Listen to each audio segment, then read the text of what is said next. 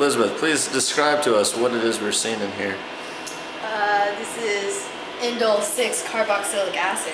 Really, what are the uses of indole 6 carboxylic acid? Make up something! It's an amino acid used in vitamin carrying protein transport.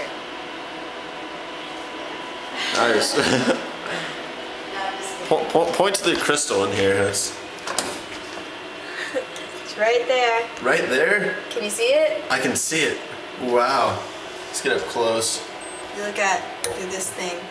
Fancy it moves. You look through that, Yeah, right here.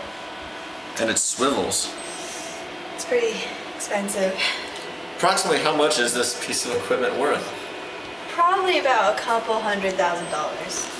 A couple hundred thousand dollars just for an X-ray machine? Not just any X-ray machine. Please tell us. okay. It's an X-ray crystallography machine. Really? Steve, you should know that. You've been here three weeks already. What does it do? Here, how about you explain? Shit. well, as you can see, the X-ray crystallographer shoots X-rays back and forth in these two contraptions. When they shoot back and forth, it determines how it looks in 3D. Not just 2D, 3D. 3, not 2. Bad. So what you do, processes, come close. We're taking a journey. You look, you twist, it shoots, you party.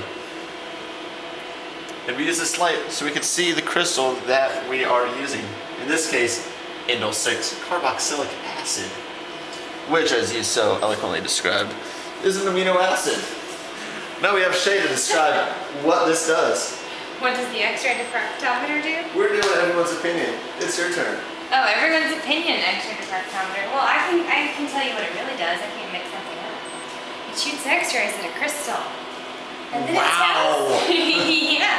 And then it tells us the structure. Yes, this means structure The structure. of the crystal and the molecule we're studying. That's what it does. wow. Fascinating. That was our inside look on X-ray diffractometer.